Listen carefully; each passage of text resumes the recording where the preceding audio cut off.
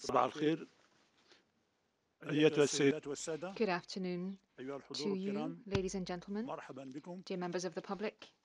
I'd like to extend a very warm welcome to you, and thank you for being with us. In spite of all of the difficulties.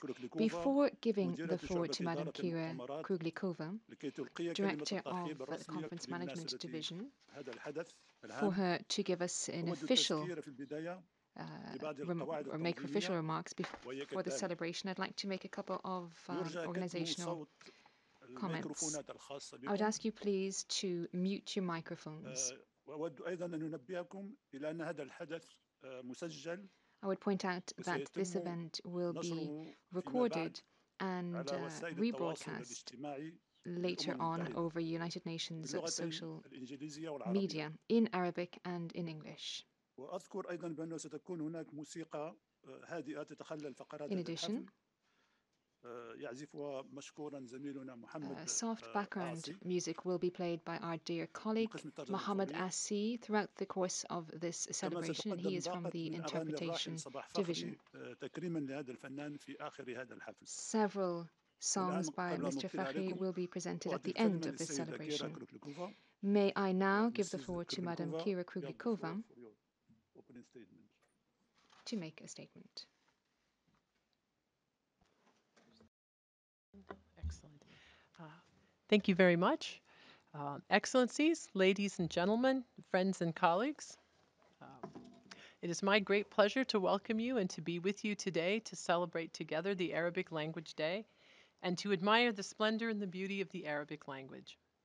To promote multilingualism and cultural diversity, the United Nations dedicates a day every year to celebrate each of its six official languages and raise awareness of their history and cultural impact. December 18th is the date chosen to celebrate Arabic because it is the day on which the General Assembly decided in 1973 to designate Arabic the sixth official UN language. Arabic is a language that unites more than 400 million native speakers in the Arab world. It also constitutes a lingua franca for at least 1.8 billion Muslims around the world. It is also the liturgical language in many churches in the Arab world. Furthermore, Arabic is the language in which a significant part of the Jewish cultural and religious heritage was written. Arabic is also a language that is deeply entwined with Western heritage. It played a historic role in disseminating sciences and philosophies of ancient civilizations, such as the Greeks, the Romans, the Persians, and the Indians, all of whom contributed to the European Renaissance. Culturally speaking, modern Europe would not have been what it is today without the impact of medieval Arab civilization, which had preserved, translated, and expanded on text in various scientific and humanities disciplines. For example, it is largely thanks to the scholars of Baghdad's House of Wisdom, Bayat al Hikmah, that much of Aristotle survived to be reintroduced in Europe and the West at large. Arabic is one of the most borrowed from languages in the world. According to the Merriam Webster Dictionary, Arabic has given English speakers the words for two of their most beloved drinks, coffee and alcohol. In fact, Arabic vocabulary is markedly present in many languages, from Amharic to Croatian, from Malay to Persian to Tagalog, as well as French, Spanish, Portuguese, and other European and Asian languages. In an increasingly globalized and digitized world, Arabic continues to be a language that connects people through culture, science, literature, and many other fields. Our program today is an open invitation to connect through modern Arabic literature and art, as we have with us three Arab artists Nasser Khemir, Omar Ponsat, and Fadil El Asawi, whose works are very illustrative of the splendor and beauty of the Arabic language. I hope you will enjoy our program and wish you a very happy Arabic Language Day. Thank you. Shukran. Uh, Thank you very much, Mrs. Kruklufa, for your valuable statement. شكرا جزيلا على هذه الكلمة القيمة. والآن Thank you very much indeed ننتقل إلى برنامج الحفل for الذي your remarks. نستهله آه، We will بكلمة السيد now move ناصر on خمير to our المخرج program. وقبل أن أعطيه الكلمة لكي يقدم عرضه We will have uh, Mr. Khemir with us, but before giving him the floor, I'd like to introduce him briefly. Mr. Khemir was born in the city of Purbeck, which uh, is part of the Mediterranean. He received a UNESCO grant to study cinema in France during the New Wave. He was immersed, therefore, in Western Parisian culture and in Parisian culture. He um, was able to marry the north, uh, east, south, south, and west, and he became a contact point between the shores of the Mediterranean Sea, its cultures, and creativity. He is an artist with a number of talents. He is a director and a calligraphist. He used uh, Arabic calligraphy and was inspired by this for uh, paintings that have been exhibited uh, with a great deal of admirers. He is a storyteller and a narrator. He has told a lot of stories um, with, uh, of beauty through images. In his uh, paintings, we are taken to the world of dervishes, where we have circularity and culture and the beauty of movement. He was inspired by the city of Tunis in his stories. He is therefore the author of four works, including the, the stories from God's uh, country in 1975 and produced a film uh, in which he used legends. In the 1980s, he made his first film, The Wanderers of the Desert. This is an extremely beautiful uh, work, where he strives to release himself from links of a forgotten lost past. In 2005, a third uh, film was uh, produced, Baba Aziz, Aziz which was uh, co produced by a number of countries. He's taken up the spirit of El Helhazm in Andalusia through the film known as The Dove's Lost Necklace which was very successful. He also produced a film on Ben Arabi and Muhyiddin's Search. These are works which call upon us to think about politics, religion, philosophy, Sufism also by maintaining دعوتنا love مشكورا and greatness وأكرمنا of هو values. وزوجته Mr. السيدة Nasser نوار عمر Khemir باشا بزيارتهما responded to our ونحن invitation سعداء and we would like جدا to thank him for بهذه this. He is with الزيارة us with his wife and uh, we are very بزيارة هذه- pleased هذين to الضيفين welcome them الكريمين today. آه، والآن ل- حتى لا أطيل كثيرا أدعو السيد ناصر إلى تقديم عرضه ثم تقوم I would now like to give you the floor. And the uh, floor also goes to your wife, who will talk about uh, your. Thank you very much indeed, uh, Director, for your invitation. Thank you, Mohammed.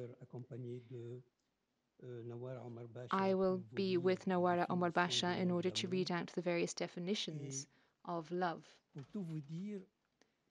Je vais essayer de vous parler de l- de l'âme d'une langue. I will try to talk to you about the soul of a language. You know that beaucoup de mots pour there are a lot of words in. Inuit to describe snow.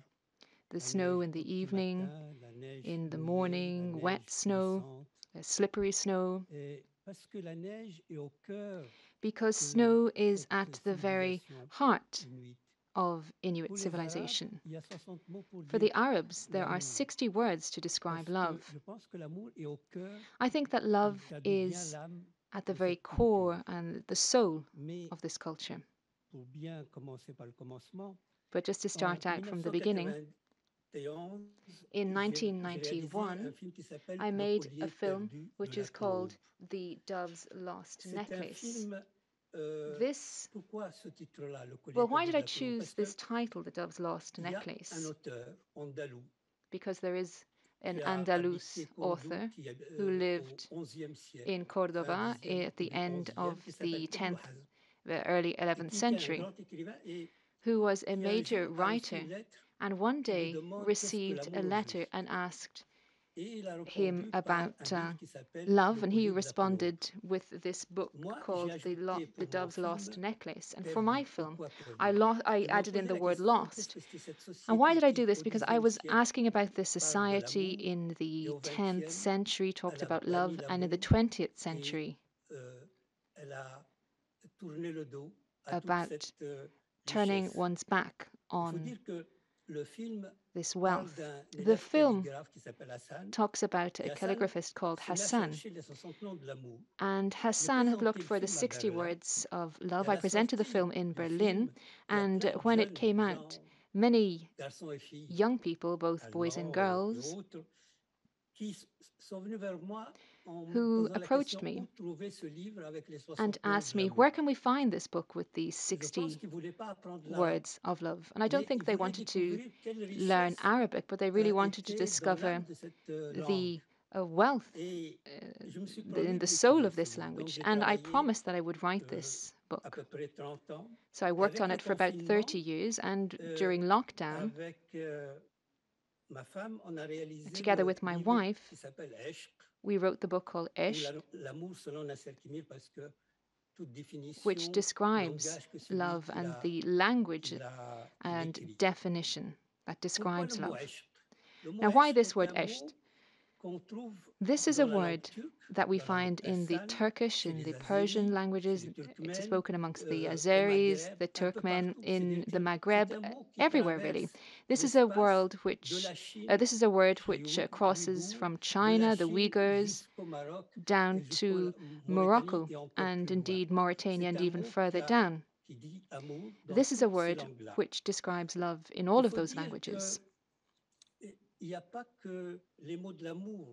I should say that we don't only have the word love, even the Arabic alphabet, which I would call the arabe, il y a un mot uh, alphabet of the sands. There is a word euh, in the alphabet un mot de l'amour.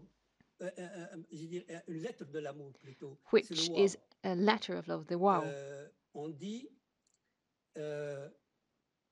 vous voyez la- les tableaux qui en- vont, vont nous accompagner. et qui You'll see the painting livre, en fait. here that uh, is with us today and is on the book. Wow is the only letter in the alphabet.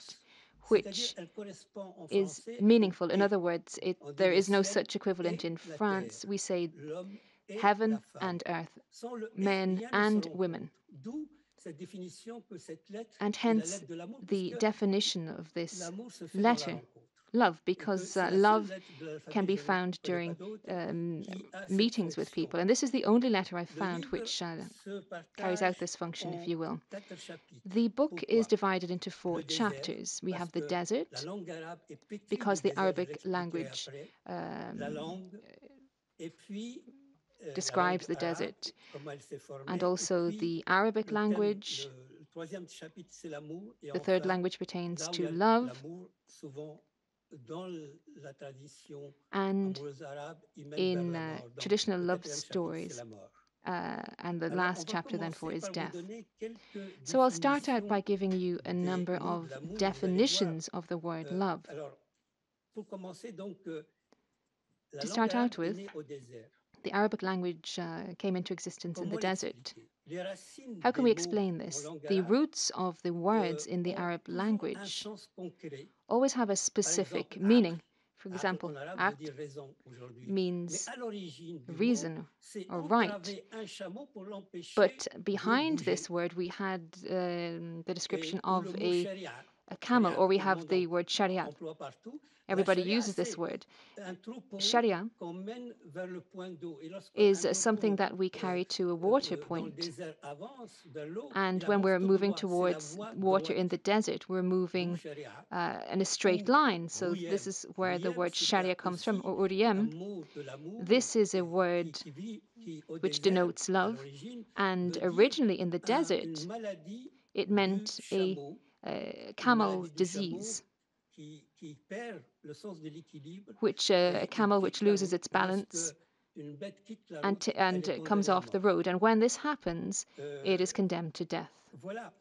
Je me demande si cette langue qui a I'm wondering tellement de nuances whether this language, which is greatly nuanced in its euh, expressions. comme si elle cherchait à remplacer la couleur qui est souvent It's perhaps as if it were about to replace the colors that are lacking la, la in the desert. Donc je vais demander euh, un- le premier nom de l'amour qu'on va The first noun or the first uh, word of love is tele, and I will ask uh, it to be read out.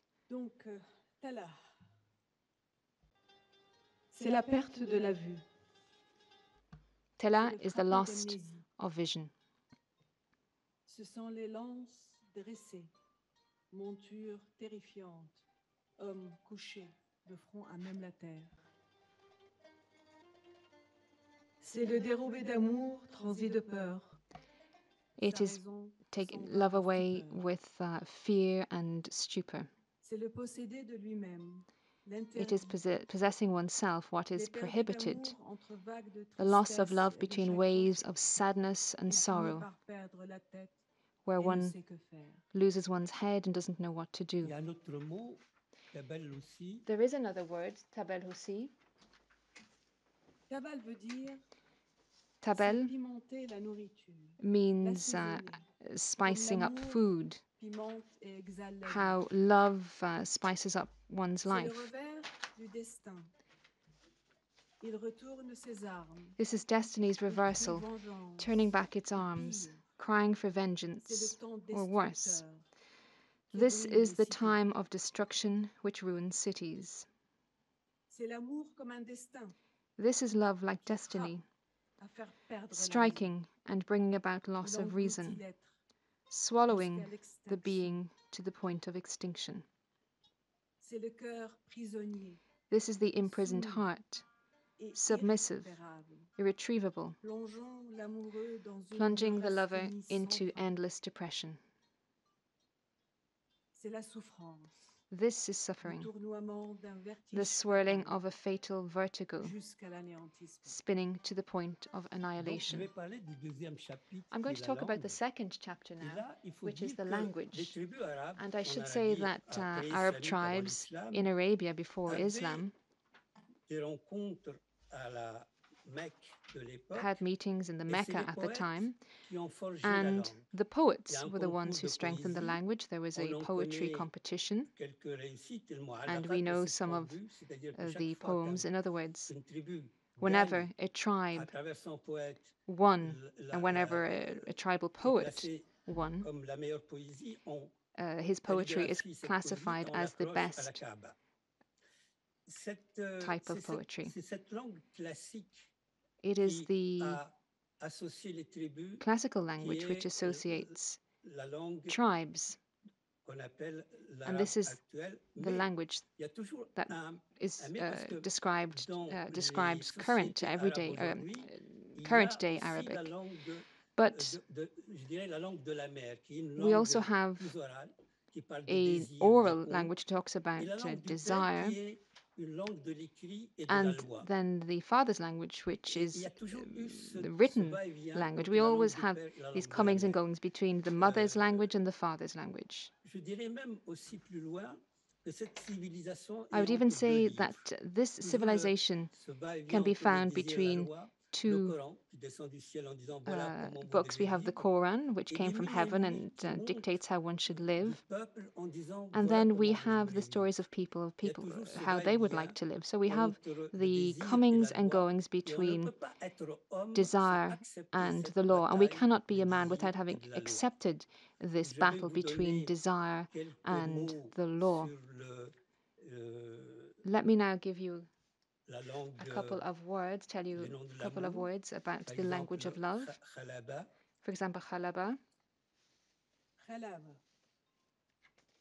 C'est la griffe Khalaba. This is the wild beast's claw or the viper's bite. C'est aussi la moelle It du is also the pith of the palm tree. C'est la membrane qui This is the membrane enveloping the heart, tels les amants, like lovers who hold each other close. C'est la séduction, This is seduction, deceit, flattery, et l'amoureux est rendu aveugle. and the blinded lover.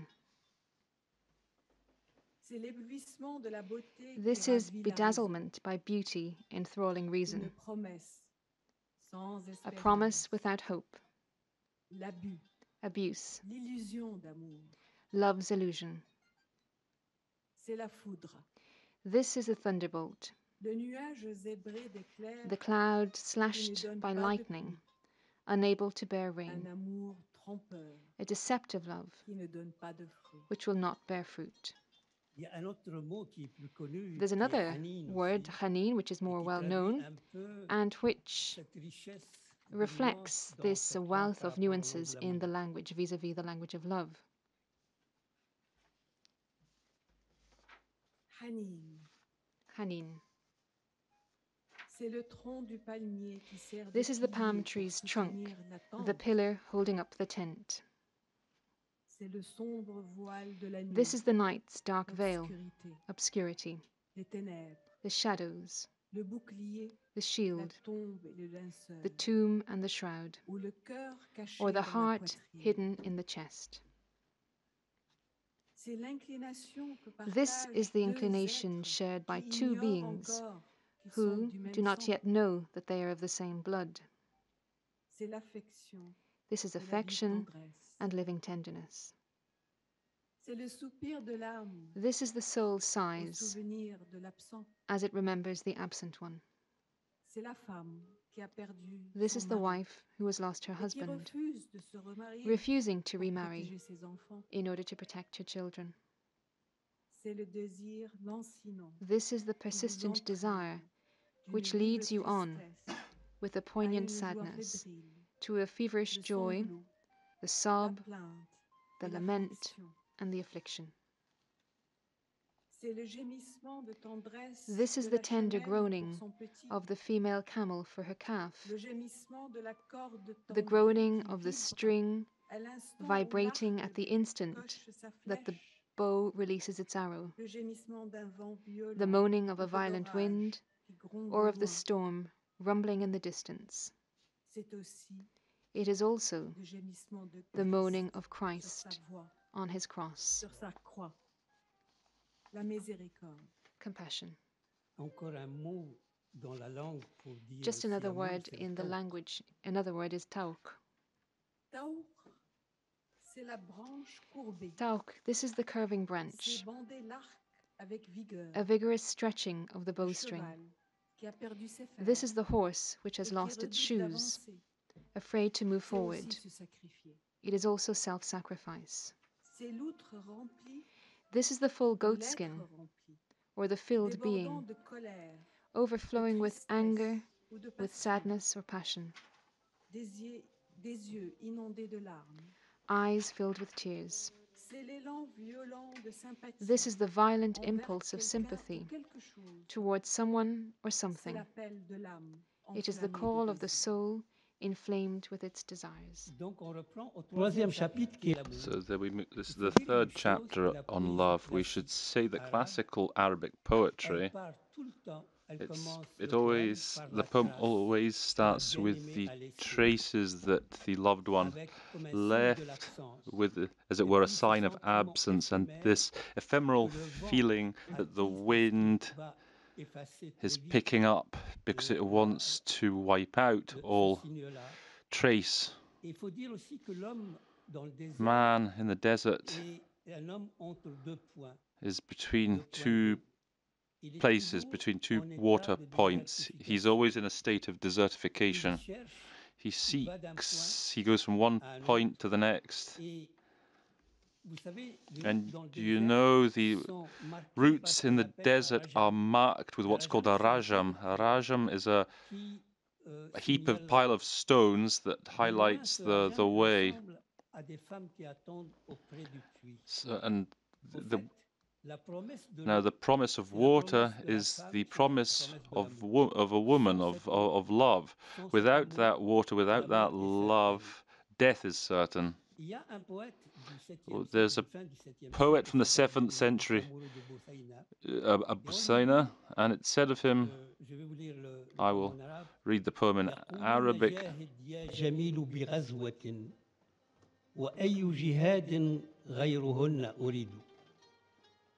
En d'autres termes, on lui demande d'aller guerroyer pour, euh, pour la, euh, la gloire de, For the glory de- of dire, uh,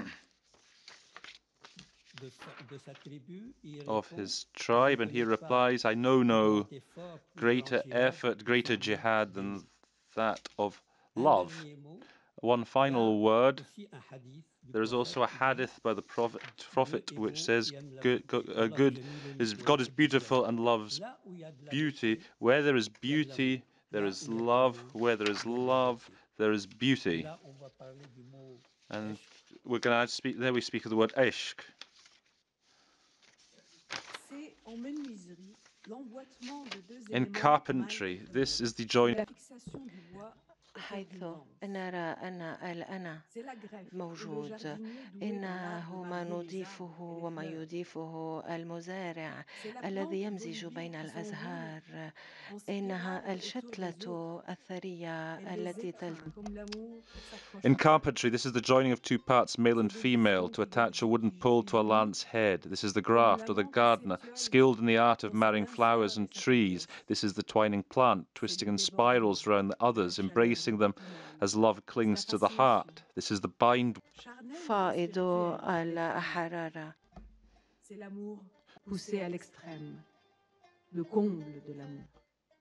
This is the. There's the, mo... There's the word. Sabwa. This is the the east wind. It's the female palm which moves towards the male palm to attach. Would الدخول آه، لدى العدو واستخ- C'est l'amour واستخدام qu'on éprouve pour une السيف jeune personne. والحب الذي آه، نكونه آه، لشاب L'amour هذا comme ال- une faute آه، d'enfant. commise avec impudence et impudence, impu- impudeur et impudence. Et enfin, le mot le plus connu, connu mais méconnu aussi, c'est hub. And the best known word is hub for Hop, love. Well, c'est l'éclat des dents, love à la blancheur is- immaculée.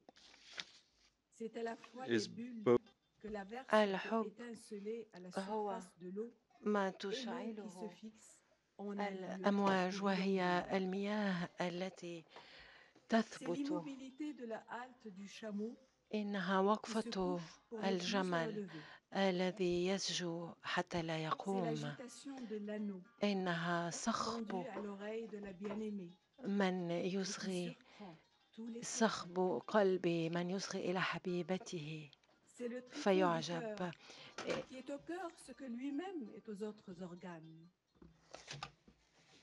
C'est la graine qui donne sa moelle en plein désert, comme l'amour et la sève de la vie. These are the four legs which support Anse. Comme l'amour the animal as tout de l'être love supports all of the loved one, disgrace and glory, rejection.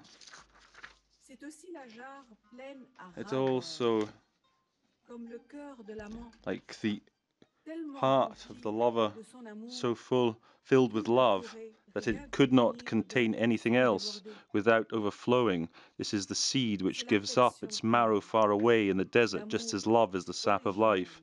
This is pure affection, the original love, the one whose purity penetrates the heart, whose clarity lies unthreatened by any alteration the last chapter, when we speak of euh, death, when we, uh, when we speak of the desert, death is ever present.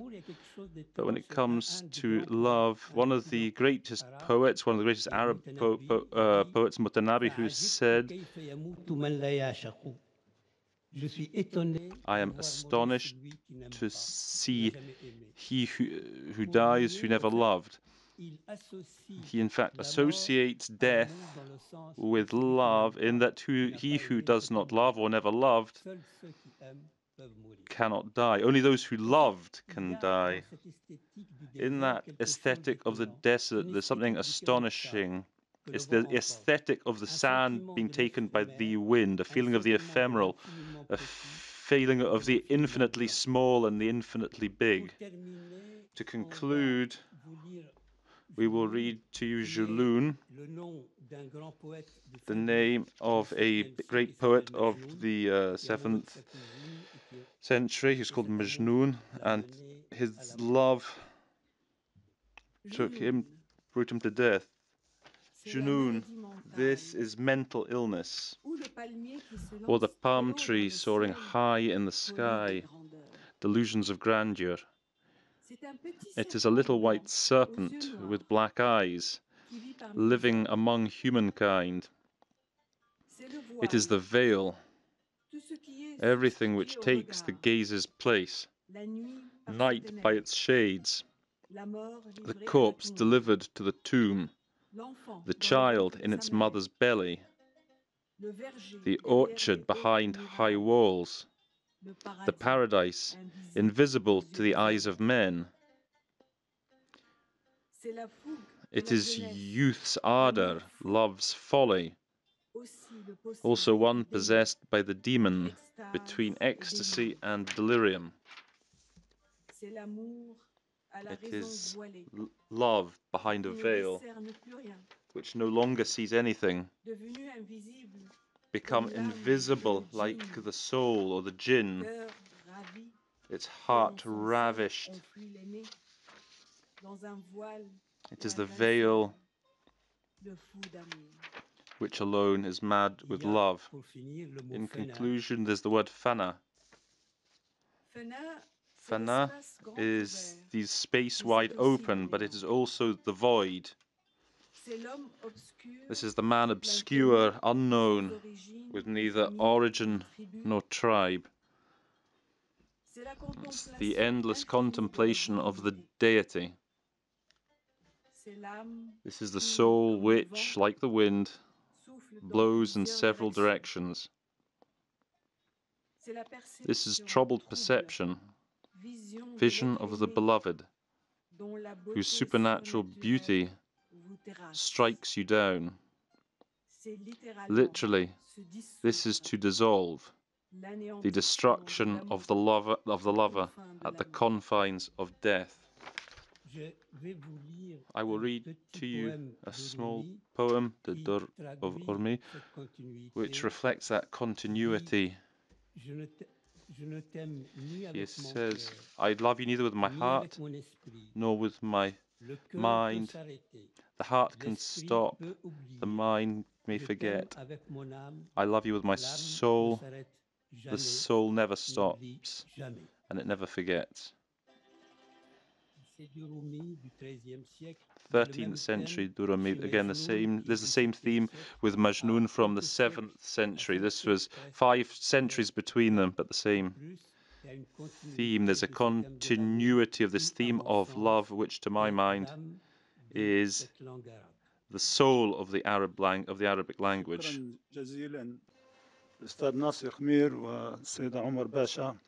Thank you very much. Uh, Madam Bash, Abdul Bashar for that passage which enchanted us all. The director had to leave the room since she had a last minute commitment. Once more, thank you for entrancing us with that beautiful presentation, that authentic presentation for us all. We will move now to the next stage of this celebration with another Arab artist, Omar Ponso. Before giving the floor to Mr. Ponso, who will deliver his presentation through a video on Zoom, I'd like to thank you for responding to our invitation and for agreeing to, to take part in Arabic Language Day. I would now like to introduce you very briefly. When he, he studied uh, economy at university, uh, while studying, he realized that he had a gift for for the arts, thanks to the encouragement of his friends, his loved ones, and his admirers. He decided to make turn his gift into his profession. He became a member of the Emanila Fashion House in Kuwait. He started as, working as a stylist there, having received his diploma in 1994. He then contributed to transforming the Free Chic fashion house, turning it into one of the most famous in Kuwait. In 2000, he joined Gibbons in the UAE as artistic director. In 2003, he founded his own fashion house called Omar Ponceau Couture. That's when he included callig calligraphy into the world of fashion. This then became a phenomenon as reflected in several aspects of life in the Middle East. In 2005, he added the idea of female empowerment to his collection called Revolte Toi, where he encouraged women to ensure her unique beauty and strength could prevail. He joined the French School of, Mo of Fashion, ESMOD, as a teacher of fashion and creative thought. He won the prize for creative teaching in 2015, and during that period, he trained a number of professionals and helped them discover the hidden crea creativity within their personalities and help them succeed in their professions as designers. His chief interest as a contemporary artist was to take up those elements which uh, constitute the interior strength of uh, mankind. His works are characterized by courage, simplicity, and symbolism. In 35 years of his artistic career, he's devoted his artistic excellence to illustrating the interior universe of human beings through his paintings, his calligraphy, sculptures, his graphic design, and even through his short films.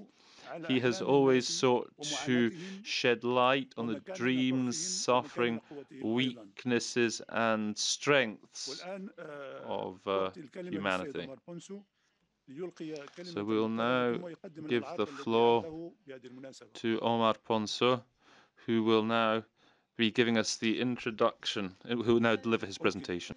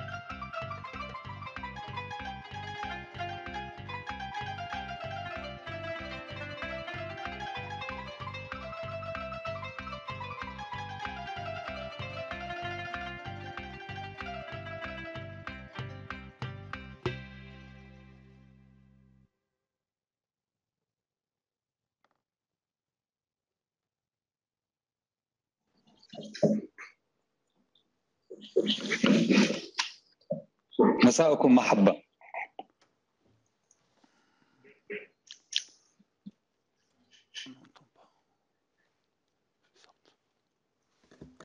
هل تسمعوني؟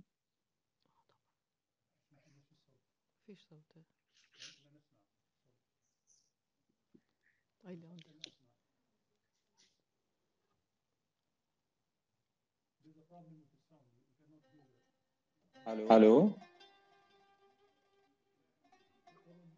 Yes, we can hear you.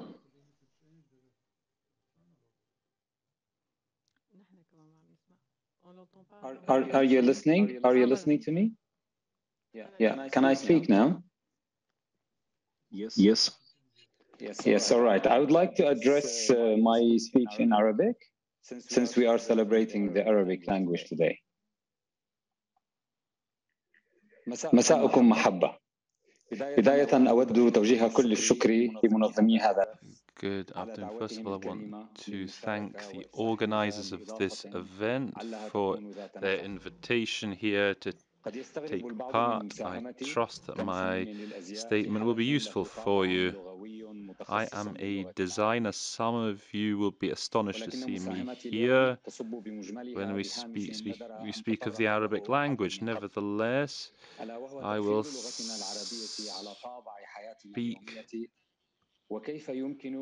the Arabic language has uh, influence on our everyday life. Arabic is a very beautiful language, a language which reflects our values, which allows us to live in our contemporary world. The Arabic language has great many characteristics.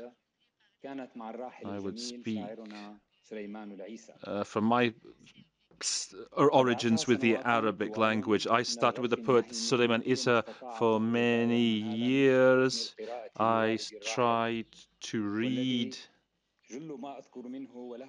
the writings, and I recall of long passages that I read in Arabic. The poem and Arabic poems and literature what pushed me for, forward. Uh, poems of Mutanabi, Danis, Mahmoud Darwish, and others. All those words accompanied me as a teacher. It inspired me as a teacher.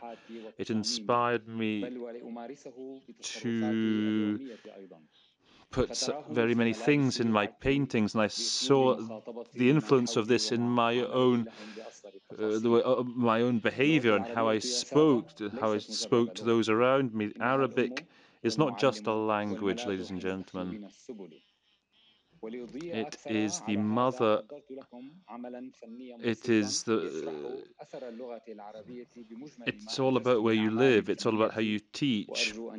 I will tell you a, uh, now one of my works, which I hope I want to share with you this video to get the experience for yourself.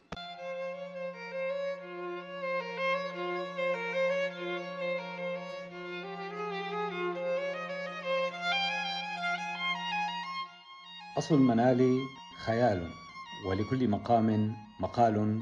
أحسن الكلام ما لا تمجه الآذان ولا يتعب فهمه الأفهام. مرحبا.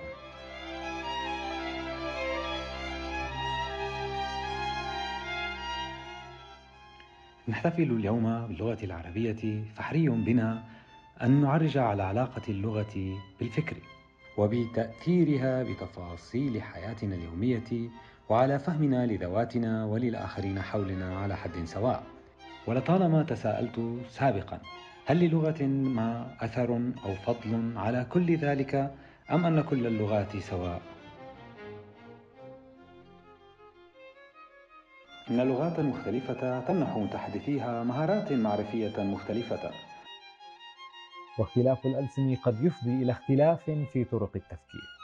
وما يميز لغتنا العربية عن غيرها سمتان أساسيتان. جزالة تركيبها ووسع عبقرية شرحها لمشاعر متحدثيها. وكيف ينعكس كل ذلك على شكلها في فن الخط العربي وما أثر كل هذا على أسلوب حياتنا اليومي؟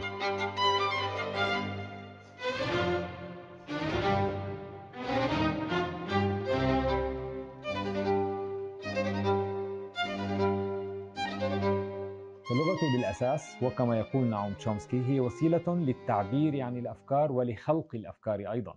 وأذكر في العام 2003 ولوله الشديد بالشعر العربي صممت أولى مجموعات الأزياء الراقية المستوحاة من قصائد الراحل الكبير نزار قباني. فكان كل فستان يعبر عن مضمون إحدى قصائده ويترجم مشاعر قائلها بعناصر مادية كاللون والأقمشة والقصات. فكانت محاولتي الأولى لترجمة مشاعر الناطقي باللغة العربية إلى عناصر مادية كالأزياء وأسلوب الحياة اليومية.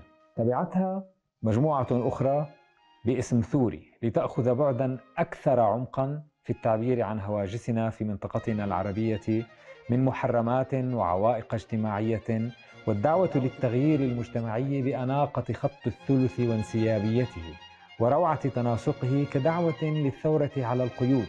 مبتدئين طبعا بذواتنا وكيف نراها ونعكسها لمحيطنا وكان طبعا للشعر العربي كذلك العامل الحسم بخلق الفارق في الفكر وترجمته كرسالة إنسانية هادفة.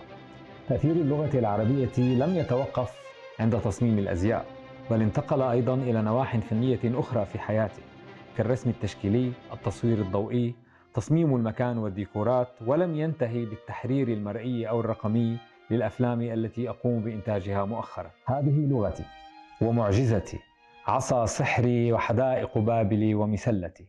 هي أكثر من خطاب وأعمق من كتاب. هي سري المكنون وناصيتي. أنقل بها حضارتي وفني وعلمي وإبداعي لكم وللعالم أجمع لنرتقي معا. وعود على بدء أودعكم بكلمة مرحبا أو الله محبة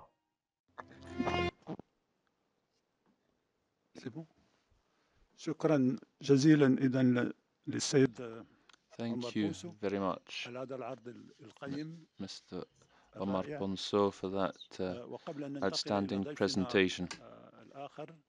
Before giving the floor to the next speaker, we will hear from our colleague Mr.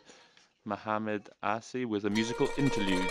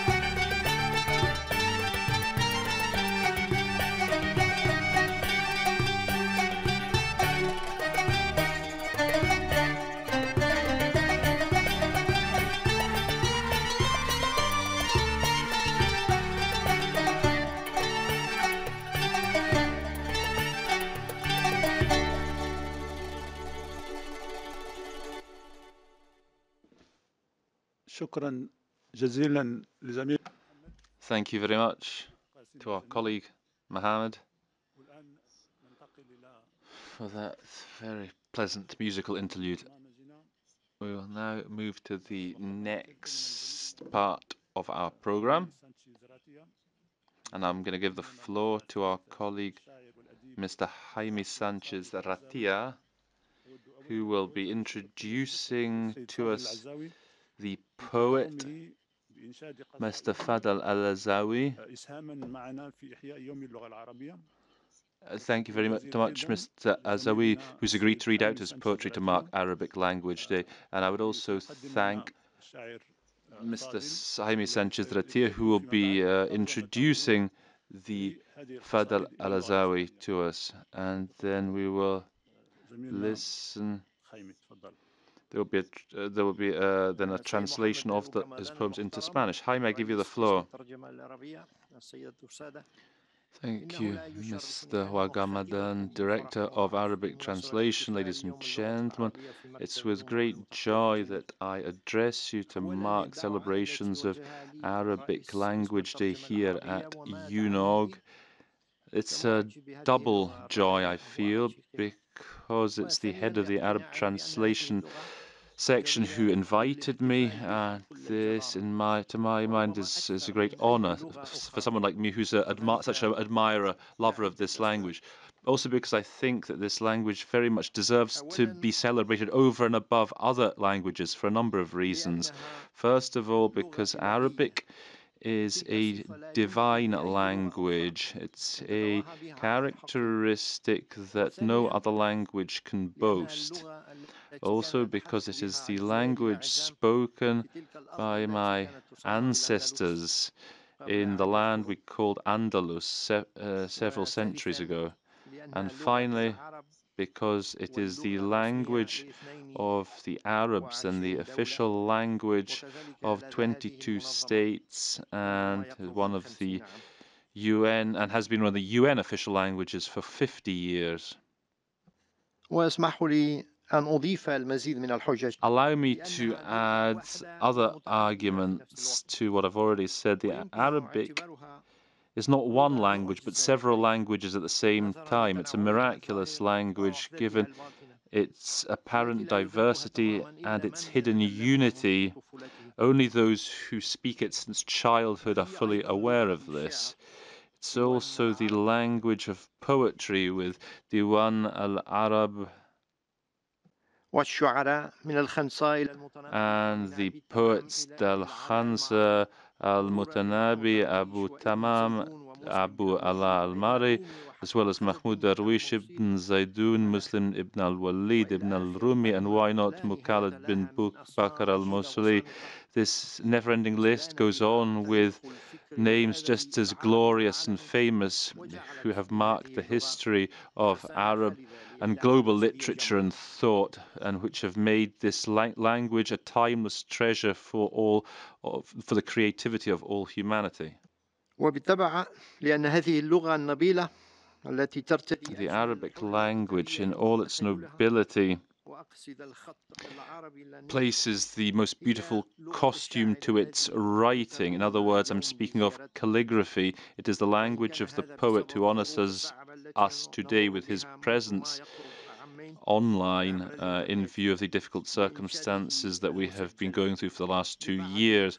We will now hear him deliver some of his poems. We will list, we'll, we'll hear from the great poet and Rom Iraqi romancier Fadil al-Azawi. تأخير في تزمن الصور الكاتب فاضل العزاوي Fadil al-Azawi, the writer, was born in the Iraqi city of Kirkuk in the 1940s. He was at the head of a group of poets known as the Kirkuk Group. By chance, he is a he is a unique witness to the history of Mesopotamia during the tumultuous times that this region and he himself have gone through over the last few tragic decades. He is a living example of the ex exile that uh, in Arab intellectuals like uh, Adonis Bayati al Sayyab, Sarkon Bulus, and many others have suffered from. Uh, al Azawi uh, suffered the bitterness of prison in his country of origin. This painful experience is reflected in his poems through the frequent, although unusual, use of the of the that appalling term, a tormentor as if it was a scar which stayed engraved in his memory. Despite this experience upon leaving prison, he was still an optimist, a poet attached to his creative and intellectual independence, one who is profound, that independence is deep rooted in him. He has never uh, foregone that independence. That is why he took exile in Germany, where he still is now and where he will probably stay. Al Azawi's poetry is a miracle. It is a wise blend of the ancient and the modern, between the exquisite and the creative, between free verse and prose. He abandoned prosody and explored and opted for unexplored zones, instilling in it his sense of humor.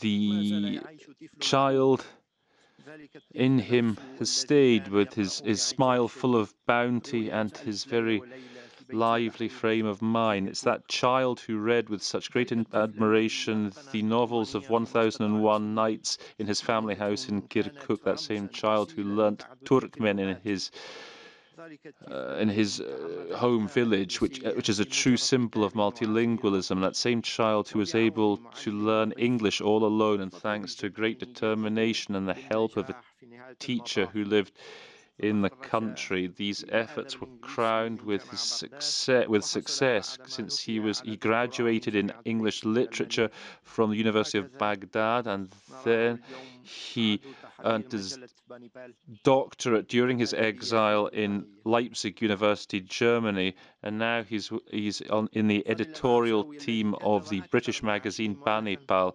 Al-Azawi is has authored more than 20 books, the majority of which have been translated into the most important world languages. These are collections of poems, eight altogether, collected in two tomes, each close to 1,000 pages long. He's also the author of novels such as The Last Angel, The Beautiful Creatures of Fadil al-Azawi, A Town of a City of Ashes, and more. He's also the author of a number of critical books, not to mention the books he's translated from Arabic, from German and English into Arabic, and the other way around too. He we are fortunate to be able to have him with us today during this celebration which is more modest than it is as usual due to the pandemic. He has left the marks of his unique ingenuity and his creative optimism. Was it not him who said in one of his poems, If I die, you can list all my vices, it doesn't matter what you will say of my faults. The most important thing is that I was a poet.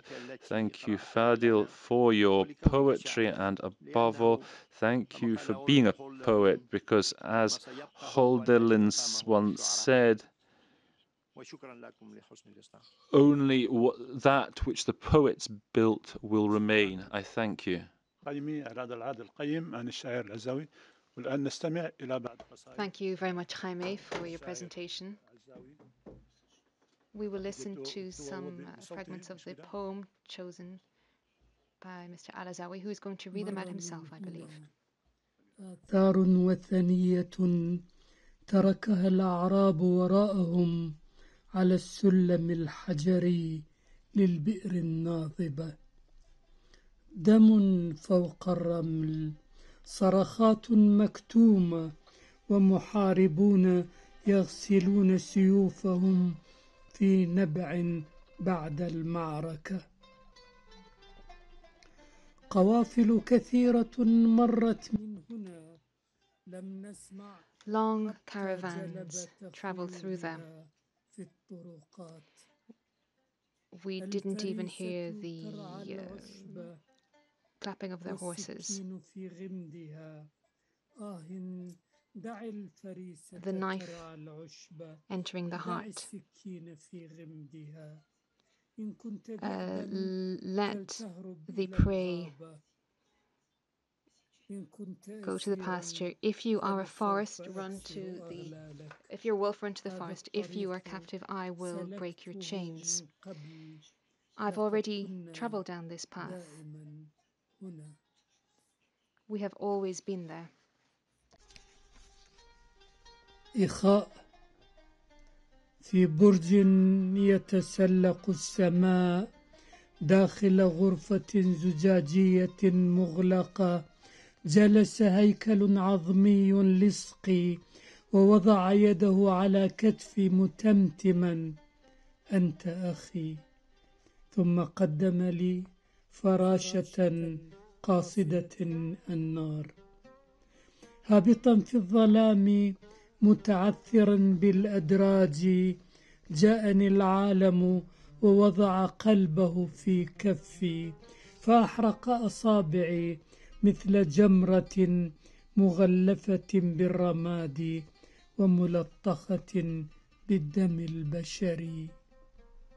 هدنة دائمة بين الإنسان وما قبله هدنة دائمة بين الريح والشجرة.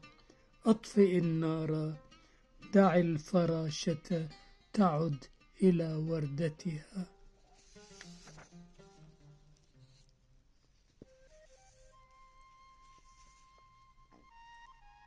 فيلم في محطة قطار. في محطة قطار في الشتاء عائدا من سفرة طويلة. وجدت نفسي جالسا في صالة سينما للعابرين. أشاهد فيلما لا أعرف قصته. كان قد بدأ قبل وصولي. فيلم لا ينتهي أبدا لا يهم من أين تراه. لأن كل فصوله تتكرر كما الحياة ذاتها. أبطال يضعون أقنعة لصوص فوق وجوههم. جيوش تزحف في الجليد لتصل إلى مدينة ما. ومهرجون يسيرون أمام عربات تجرها خيول منهكة. رجال بأجنحة من شمع يسبحون في الفضاء. حشرات تشق طرقها الغريبة إلى الكواكب تحت شموس محرقة. ثمة من يعثر على لؤلؤة ويفقدها ثانية. ونحن ننزف على الشراشف فوق أسرة مسافرين في فندق رخيص لليلة واحدة. متفرجون موتى ومتفرجون أحياء ثمة من يدخل ثمة من يخرج. ألقاعة مظلمة دائما وفيلمنا مستمر بلا نهاية.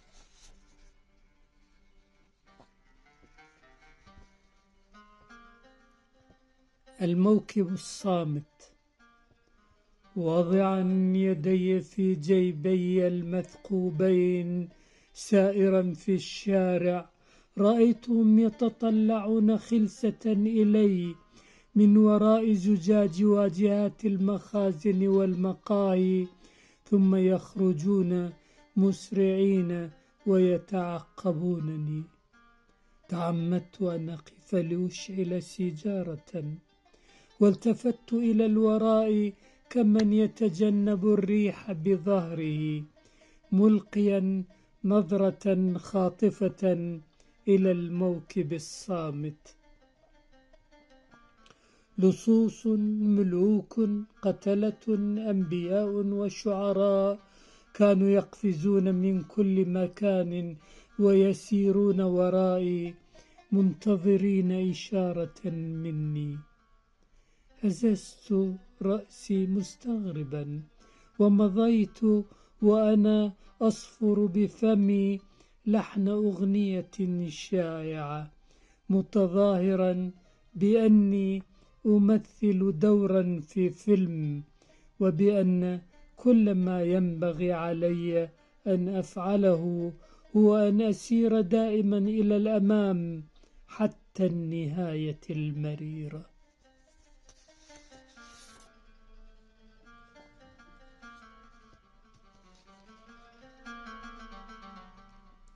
اسمع يا نوح اسمع يا نوح. لقد شيدنا دائما بأذرعنا الهزيلة سدودا عالية جديدة ضد الطوفانات القادمة. كلما غرقت سفينة بنى النجارون سفينة أخرى. ذكريات المستقبل وحدها هي الأمل. أنين الغرق يسمع في كل العصور. معجزتنا هي أننا قد ظللنا على قيد الحياة.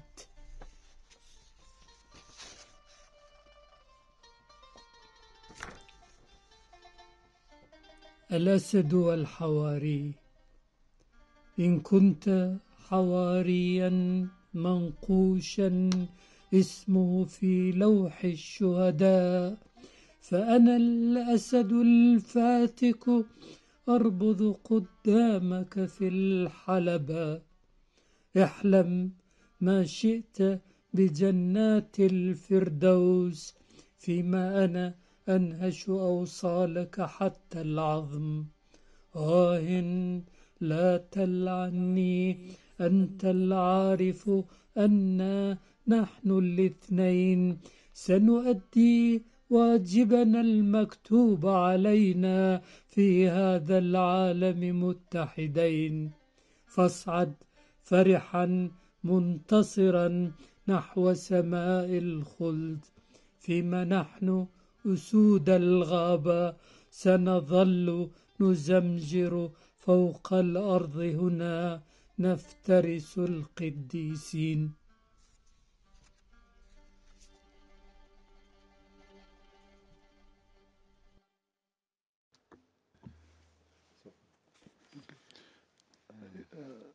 Then سأقرأ بالإسبانية أوكي يتفضل زميلنا خيمي يقرا لنا ترجمه هذه القصائد باللغة الاسبانيه تفضل مشكورا أنا أقرأ في نفس الترتيب التي قرأت القصائد Huellas sobre la arena. Un monstruo antiguo ha pasado por aquí. Huellas paganas dejaron tras de sí los beduinos sobre la escala de piedra del pozo seco. Sangre sobre la arena, gritos ahogados y guerreros que limpian sus espadas en un riachuelo tras la batalla. Numerosas caravanas pasaron por aquí. No escuchamos siquiera el piafar de sus caballos por los caminos. La presa ramonea la hierba y el cuchillo permanece en su funda. ¡Ay, deja que la presa ramonee la hierba! Deja que el cuchillo, cuchillo siga en su funda. Si eres lobo, huye hacia el bosque. Si eres prisionero, yo romperé tus grilletes. Este camino ya lo recorrí antes. Estuvimos siempre aquí. Fraternidad. En una torre que se aupa hasta el cielo, dentro de una habitación de cristal cerrada, se sienta un esqueleto pegado a mí. Me pone la mano sobre el hombro y murmura, eres mi hermano. Luego me ofrece una mariposa que revoloteaba hacia el fuego. Hundiéndose en las tinieblas, tropezando con los escalones, me llegó el mundo y puso su corazón en la mano, quemándome los dedos como un ascua envuelta en cenizas y mancillada de sangre humana. Tregua perpetua entre lo humano y lo que procede. Tregua perpetua entre el viento y el árbol. Apaga el fuego, deja que la mariposa vuelva a su rosa. Película en una estación de tren. En una estación de tren en invierno, volviendo de un largo viaje, me encontré sentado en una sala de cine para gente de paso, viendo un film cuyo argumento desconozco, pues ya había comenzado cuando entré. Un film interminable, eterno, lo mirases por donde lo mirases, porque todas las escenas se repetían como la vida misma.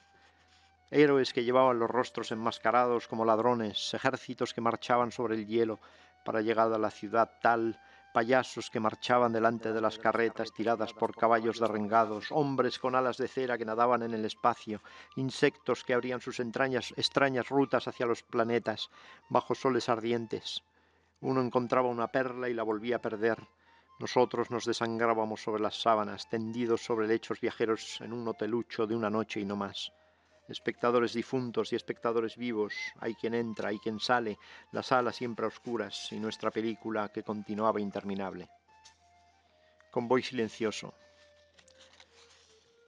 Metiendo las manos en los bolsillos agujereados mientras andaba por la calle, los vi que me miraban de reojo, desde detrás de los escaparates de las tiendas y los cafés, y luego salían apresuradamente y se ponían a seguirme. Quise detenerme para encender un cigarrillo y me incliné hacia atrás como hacen quienes se evitan el viento de cara, lanzando una ojeada furtiva al convoy silencioso. Ladrones, reyes, asesinos, profetas y poetas saltaban desde todos los lados y me seguían esperando de mí una señal. Meneé la cabeza extrañado y seguí adelante silboteando un airecillo de una canción popular, fingiendo que interpretaba un papel en un film y que todo lo que tenía que hacer era caminar siempre hacia adelante, hasta el amargo final. Escucha, Noé, siempre construimos con nuestros enclenques brazos nuevas y altas presas contra las inundaciones próximas. Cada vez que se hunde un barco, los carpinteros construyen otro. Solo los recuerdos del futuro son la esperanza. Los quejidos de los ahogados se escuchan en todas las épocas. Nuestro milagro es haber seguido con vida. El león y el apóstol. Si tú eres un apóstol cuyo nombre está cincelado en la tabla de los mártires, yo soy el feroz león arrodillado ante ti en la arena. Sueña cuanto quieras con los jardines del Edén, mientras yo roho tus articulaciones hasta el hueso. Ah, no me maldigas, sabes bien que nosotros dos cumplimos con la obligación que nos ha sido prescrita en este bajo mundo, unidos. Así pues, elévate, dichoso y triunfante, hacia el cielo de la eternidad, en tanto que nosotros, leones de la espesura, seguimos aquí rugiendo sobre la tierra y devorando santos.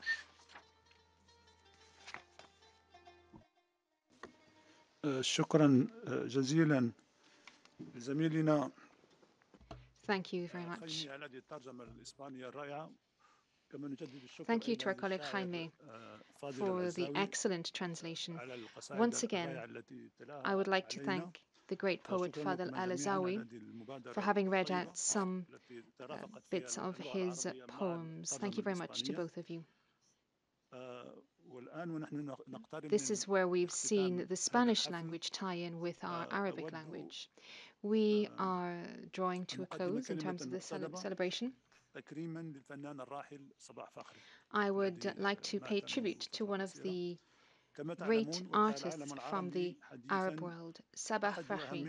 As you know, not long ago, the Arabic world bid farewell to one of the greatest figures of Oriental music and one of the most distinguished symbols of the Arabic melody, the tarab.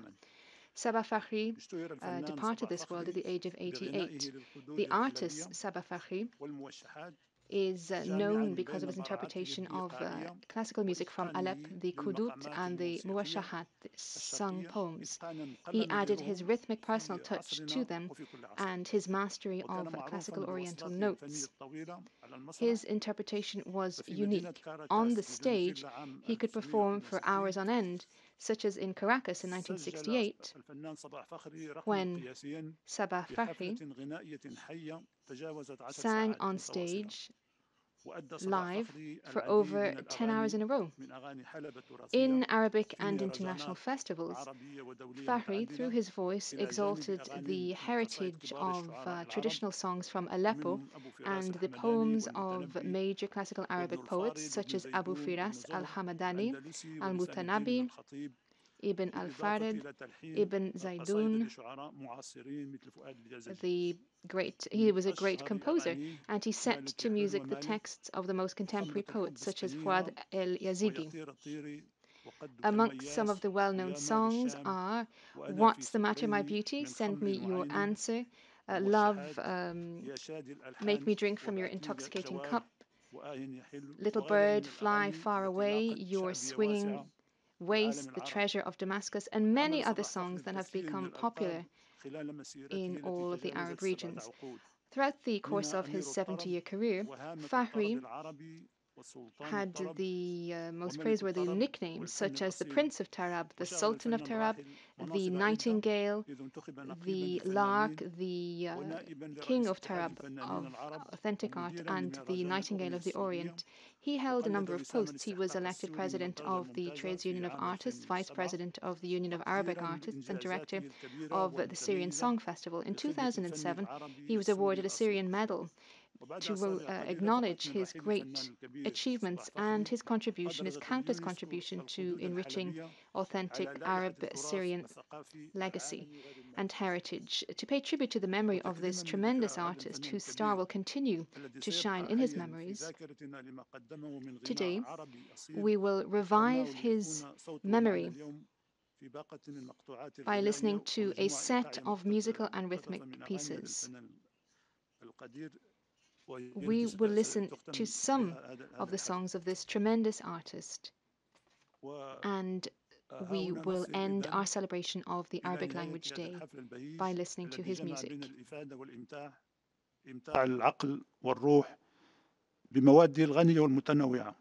We are coming to an end of this wonderful celebration, which is a uh, rejoicing movement for our hearts and spirits, thanks to the presentations and interpretations. I'd like to extend my thanks to our distinguished uh, panelists, uh, also uh, those who are following us online. Our thanks go to Jaime, and we would like to thank all of those who've taken part in the room and those of us who followed us online over Zoom. Of course, I wish to thank all colleagues from the uh, various units, the technicians, the translators, interpreters. In particular, I'd like to thank Madam Shireen El Dalati for organizing, preparing, and allowing for this celebration to run smoothly. I'd like to thank Mr. Fatima Wata, Mr. Mohammed Asi, and all of those who have uh, worked in one way or another to ensure that this event is a success. I'd like to thank all of you again, and I hope to see you next year. Thank you very much.